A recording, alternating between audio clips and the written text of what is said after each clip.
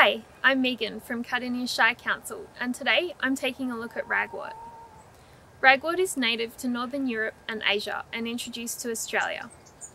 In Cardinia Shire, ragwort is listed as regionally controlled, which means we all have a responsibility to take reasonable steps to prevent its growth and spread. Ragwort starts as a rosette close to the ground. It can be poisonous to livestock and crowd out desirable pasture plants and native biodiversity in bushland areas. Ragwort has dark to mid-green leaves that are deeply divided and wrinkled. When it starts to flower, it sends up a flower stalk and the lower leaves start to die off. Ragwort mainly flowers from December through to March.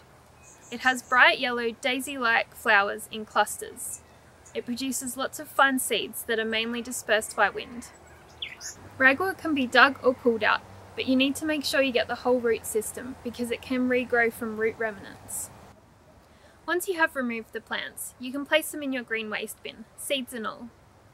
For more information about ragwort, including other ways to treat it, or to find out more about our weed control grant, you can visit our website at www.cardinia.vic.gov.au forward slash weeds.